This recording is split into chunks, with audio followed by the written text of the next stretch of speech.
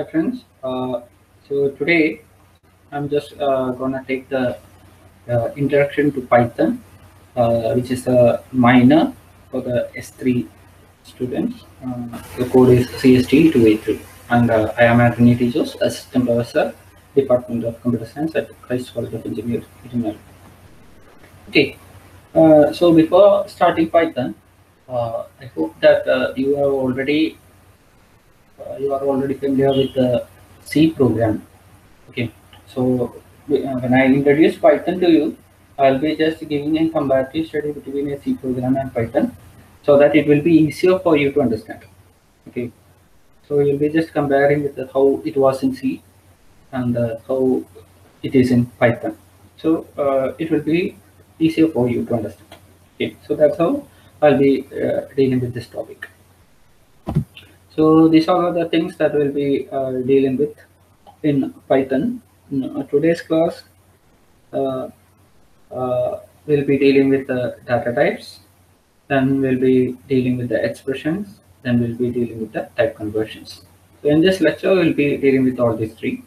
And uh, in the next lecture, we'll be just uh, dealing with how to write a program in Python using Anaconda IDE, Anaconda Terminal, and also we'll be uh, dealing with how to write program in Python using Jupyter Notebooks. Okay, all those things we'll be dealing in the later session. Now we'll be dealing with these three data types, expressions, and type conversions. Okay, so first we'll move to the first topic that is data type. Okay, data type, uh, you all are familiar with the data types in C program, right? In C program, uh, if I'm say uh, there are built-in data types and derived data types. So we'll be dealing with the built-in data types or basic data types. The basic data types are integer, floating point, and character. Okay, we are dealing with, uh, we were dealing with the C. In C, we had integer data type, floating point data type, and character data type. Okay, likewise in Python also, we'll be having same three data types. Integer data type, floating point data type, and character data type. Bit similar with uh, all uh, most of the languages. Uh, C, like C, Python also do have three data types. That is integer data type, floating point data type, and character data type. Okay, so uh, I'll be just going through all these data types uh, very quickly because uh, you are already familiar with all these data types. The first one, it is integer data type. Okay, in integer data type, this is the range in Python. Okay, actually, uh, in C program, integer data type, uh, we used two bytes of memory. Okay, two bytes of memory. Two bytes of memory means it is actually 16 bits. Okay, one byte is 8 bit, so two byte is 16 bits. In 16 bit, what I'll be doing is I'll be just allocating one bit for sign. Okay, I'll be allocating one bit for sign and other 15 bits for value. Okay, so I'll be allocating one bit for sign and 15 bit for the values. So actually the range of number of bits uh, or range of bits in uh, C program, it is like minus 2 raised to 15 to 0 to plus 2 raised to 50. Okay, so this will be uh, the range. It will be up to plus 2 raised to 15 minus 1. Okay, this will be the range. Okay, likewise in a Python, it uses 4 bytes. In Python, it uses 4 bytes. Python. Similar to C program, uh, we'll be assigning 1 byte for the sign and uh, allowance. 4 bytes means 32 bits. Okay, 4 bytes means 32 bits. 32 bits. 32 bits. Okay, so I'll be allocating 1 bit for the sign and uh, 31 bit for the value. So the range is from minus 2 raised to 31 to 0 to 2 raised to 31 minus 1. Okay, this will be the range of the integers in uh, Python. Likewise, uh, the other data type for the Python is floating point numbers. And uh, in Python, it uses 8 bytes. In Python, it uses 8 bytes. Whereas in C, it was 4 bytes. In C, it was 4 bytes, but in Python, we uses 8 bytes of memory for the floating point. Okay, so the range is from 10 raised to minus 308 to 308. And it do have a precision of 16 digit. Okay, there are various representation of the floating point. The two representation that can be used are decimal notation in which we'll be just writing as in the usual way and a scientific notation in which uh, it will be in the standard way like the first digit after the first digit there will be the decimal. Then you will have the decimal values. And e followed by the value that comes here. That is 10 to the power. What comes up in the 10 to the power? So if it is 3.78 it is 3.78 e0 that is 3.78 into 10 raised to 0 okay. If it is uh, 3780 it will be written as 3.78 e raised to 3 that is 3.78 into 10 raised to 3 likewise if it is 0.00378 it can be uh, represented as 3.78 e raised to minus 3. Okay, anyway, the decimal value comes after the first digit. It is the standard form. So this is called the scientific notation and this is the decimal notation. And uh, in Python, we can just be using any of the notation. Basically, we'll be using the decimal notation. Okay, we'll be using the decimal notation uh, for floating point number. Clear. Next one is the character set. The character set uh, basically Python uh, as you see will be using ASCII encoding. ASCII encoding is the American Standard Code for Information Interchange. Okay, ASCII encoding, American Standard Code for Information Interchange. Okay, so you can in this table you can just find out the ASCII characters or ASCII values that is related to a character. Okay, if I am going to find the value of A, capital A, it is first it is 6 then it is 5 so a we can get 65 65 is the ascii number that's related to a. Likewise if i'm going for small letter a small letter a it is 9 and here it is 7 so 97 is the value that is for small letter a clear so that is difference Okay, so th from this uh, table, you will get the value for all the ASCII characters. The ASCII characters is actually 128. Uh, okay, values. So it is from 0 to 127. Okay, so these are the uh, different data types that is used in uh, Python. Is very much similar to C program. It is just a bit of different in the ranges.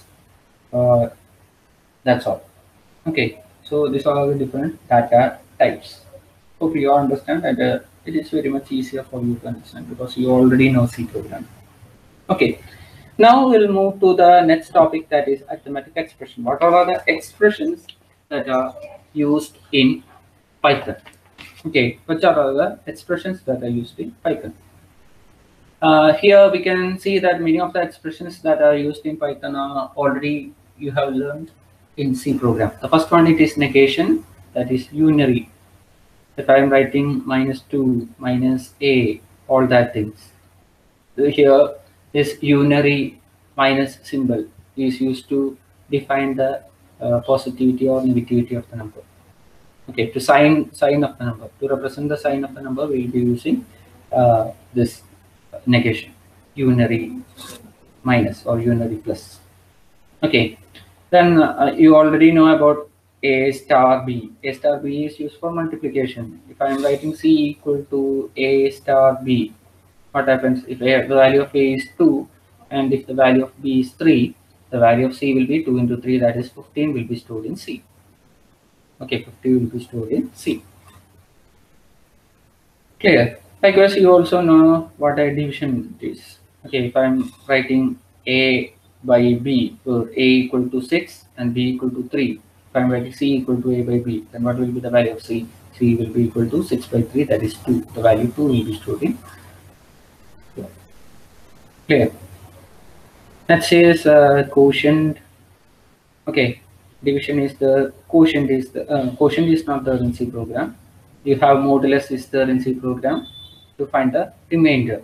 Okay if i'm uh, using 3 and 2 a as 3 and b as 2 if i'm writing a by a modulus b so what is the remainder?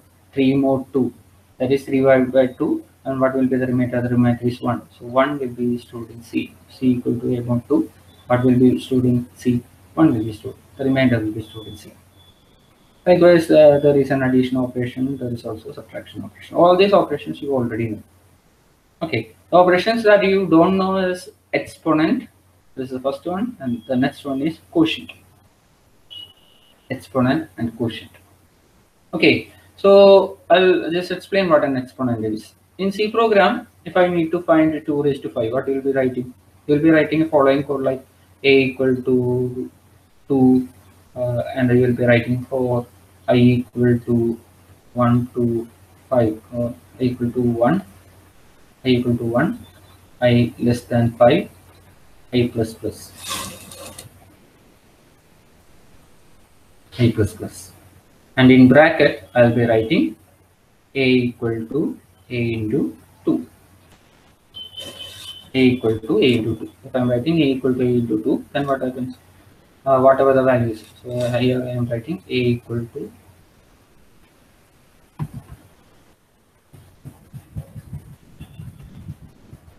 a equal to a into a star 2 okay so what happens? So what happens is for a equal to 1 i less than 5 i plus plus. So each time it repeats it 2 will be multiplied to it so you will get the result 2 raised to 5 which will give a result of 2 raised to 5 else you can use a fun function a built-in function uh, which is pow which is stored in math.h 2 comma 5 so you can use a function 2 comma 5 pow of 2 comma 5 power function of 2 comma 5 which will also give you the same result. But instead of this in python there is an operator which is star star operator or exponential operator so instead of doing all this stuff in python what you can do is you can do 2 star star 5 if i'm writing 2 star star 5 and if i'm writing c equal to 2 star star 5 it is the same as 2 raised to 5 you need not use a built-in function or you will not use a for loop for this. Is a direct arithmetic operator which is a star star or exponential operator for this. Okay likewise quotient. Okay the next one is a quotient. Okay so if i'm dividing uh, 3 divided by 2 you know that the remainder uh, 1 2 the result is 0 uh, sorry the result is 1 so you know that the remainder is 1 the quotient is 1 if i'm giving a by b or if i'm giving 3 by 2 the resultant will be 1.5 sometimes i need just the quotient. Sometimes i need just the quotient. So for that i'll be using this operator. So if i'm writing a by by b where a equal to 3 a equal to 3 and b equal to 2 a equal to 3 and b equal to 2 then i'll be getting the value 1 which is the quotient. To get this quotient value i'll be using this operator that is quotient operator slash slash this is the quotient operator so these two are uh, two extra arithmetic operations that is uh, operators that is present in python and all the operators that is present in c is present in python. Clear? Of this one you understood the uh, idea about the arithmetic expressions. Clear? So these are the arithmetic expressions. Now type conversion okay type conversion means sometimes you need to convert from uh, one type to another type. Sometimes you need to change from one data type to another data type to sometimes you need to change a variable from one data type to another data type. Uh, we call it as type conversion. Clear? Okay. Uh, so there are two types of type conversion. So uh, type conversion is of two types. Type conversion is actually of two types. The first one is uh, implicit. First one is implicit type conversion. The other one is explicit type conversion. Ex explicit type conversion, or we can call it as typecasting. explicit type conversion or typecasting and there is another one called implicit type conversion okay so what is an implicit type conversion? In implicit type conversion uh, the conversion is done by the uh, compiler itself compiler or interpreter itself. Okay. Uh, the programmer need not bother about that conversion. It will be done uh, by the system. We need not bother about it. The programmer need not bother about it. This type conversion is done by the system. Okay, for example, we know that uh, first one, okay, 3 by by 2, 3 by by 2 or 3 quotient 2, 3 quotient 2 will give an answer. The answer will be the quotient of uh, 3 divided by 2 and the result is 1. You know that it is an integer. You know that it is an integer. Okay, and uh, here we can see that it is multiplied by 5.0 here it is multiplied by 5.0 so as in see what happens this star for multiplication is an operator which can be done with uh, either two integers or two floating point numbers. Can be done only with either two integers or floating point numbers. Here the difference is that one is an integer and one is a floating point number which cannot be done by the system. The system cannot execute this because one of the operand is an integer and another operand is a floating point number. For a multiplication operation to execute, either it should, both of the uh, operands should be, either it should be integers or it should be floating point number. Here, one of the operand is an integer and the other operand is a floating point number. So this operation cannot uh, cannot be done. So what happens? The system explicitly convert an integer to floating point number okay it will explicitly convert this integer to a floating point number. That is 1.0 it will convert it into 1.0 into 5.0 1.0 into 5.0 so it executes 1.0 into 5.0 and the result will be again if two floating point numbers is multiplied the result then will be a floating point number. So the output will be 5.0 so this will be the output. And this conversion is done by the system. So it is called implicit type conversion. Okay Likewise, if I'm writing 3 by 2 into 5, the result is 3 by 2 is 1.5. Clear? Into 5, it will give 7.5. So, this is also a type conversion. Here it is also converting to, to decimal. Okay. Hope you understood. So, this conversion is done implicit implicitly by the system. Implicitly by the system. Okay. Next one, you can see that uh, uh, this is another type conversion. Uh, next type it is uh, explicit type conversion or it is called the typecasting. Explicit type conversion or typecasting. Okay, uh, so in explicit type conversion what we'll be doing is uh, you can just uh, convert from one you can just convert from one data type to another data type and the conversion is done by the programmer done by the programmer. We have need to write some code to convert from integer to floating point floating point to character or floating point to integer etc etc etc character to integer what all? He need to convert it. Okay so it is also called typecasting. And here we can see that if i need to get the 6.5 here the programmer is writing integer of 6.5 means it will just convert this floating point number to an integer and the resultant will be 6 actually the point the decimal value will be chopped off sometimes we need to get round rounding. Okay to round it off to next integer for that, I will be using the next keyword that is round, which is also available in the Python. Okay, so here I will be writing round, round 6.75 and it will be rounded off to 6, sorry 7. If I am writing round uh, 6.1 then it will be rounded off to 6. Clear? So this is how type conversion or explicit type conversion happens. Here the programmer is writing the code for converting the integers programmer is writing the code for uh, converting uh, data type from one to another. So it is called explicit type conversion. It is also called as typecasting. Okay, hope you understood. Now we'll be dealing with the next topic uh, that is functions. Okay, so uh, next topic is functions. And uh, what do we mean by function? I already know what a function is. Okay, so here I will be dealing with built-in functions. Okay, we'll be dealing with built-in functions. Uh, the user-defined functions will be uh, dealing with in the fourth module. Okay, fourth module will be dealing with the user-defined functions. But uh, here we'll be dealing with the built-in function. What are the functions that is already available in the Python? Okay, so what do you need know about function? A function is a chunk of code which you do have a name is a chunk of code which you do have a.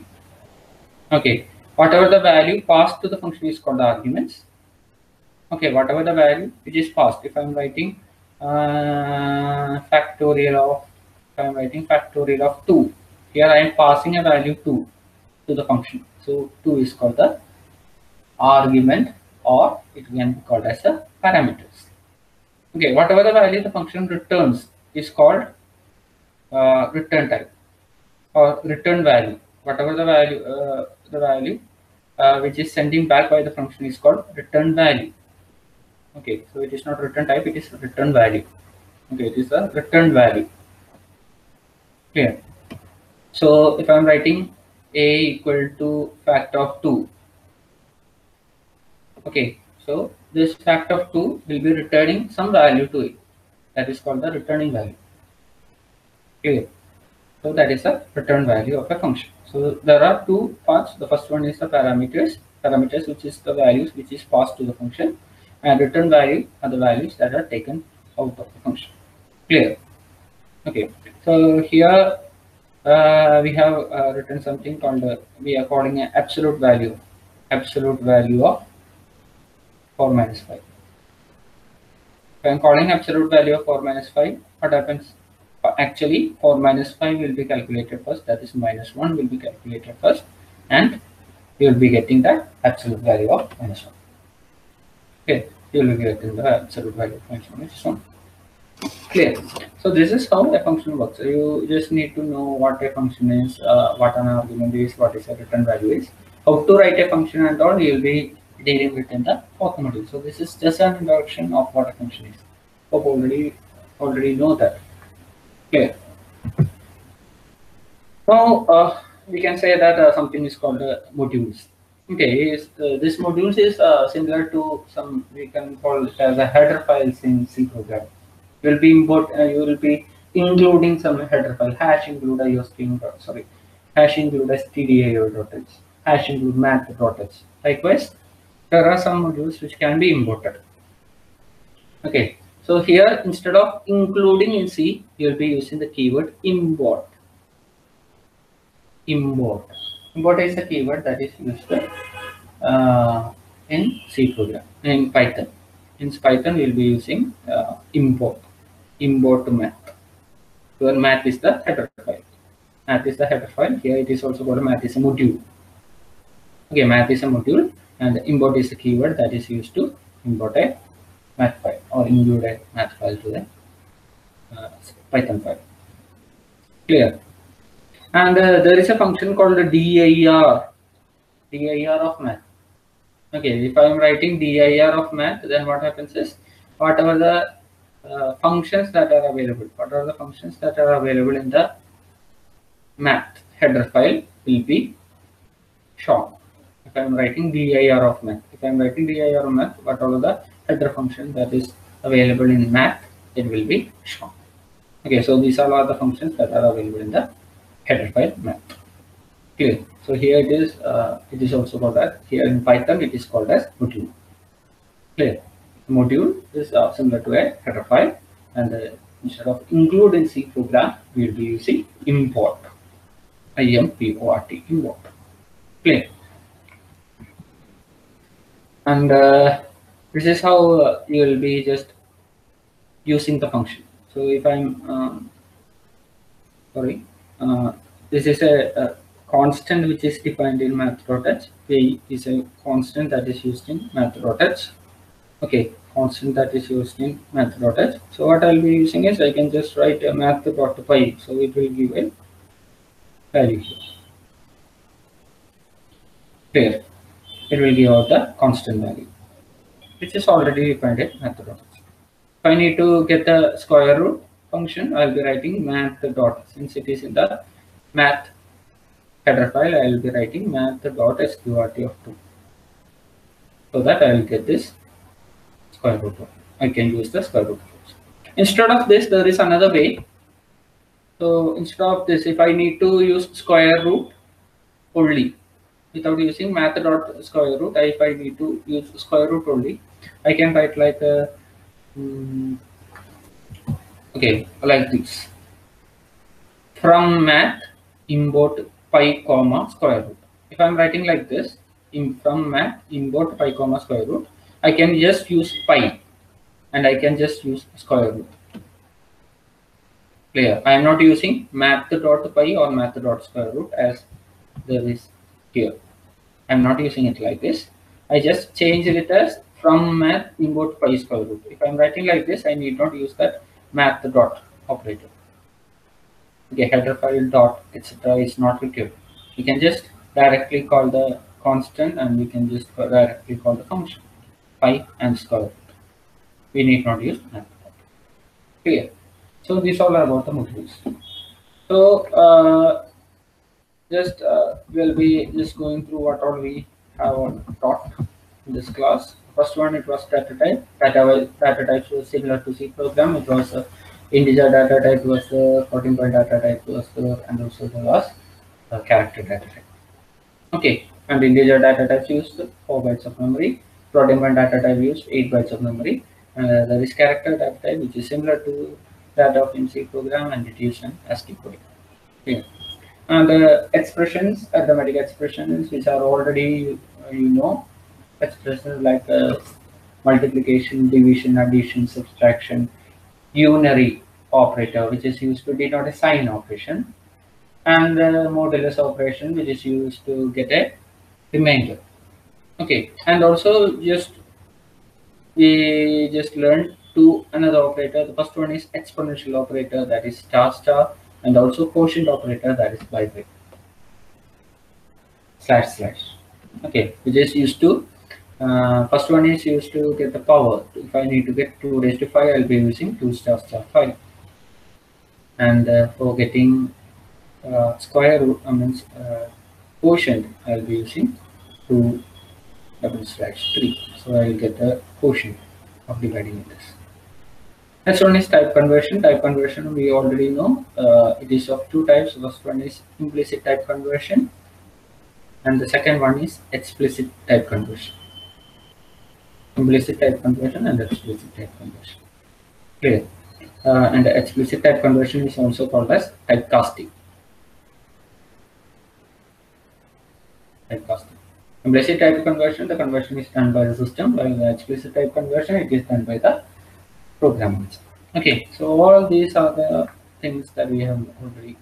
And also we dealt with built-in functions. What do you mean by built-in function? All the function already exists it has uh, parameters and also return values and uh, there uh, we can just use some modules we can just import some modules in python and we can just use some of the functions or the constants which are uh, defined inside that modules okay hope you understood happy with the class thank you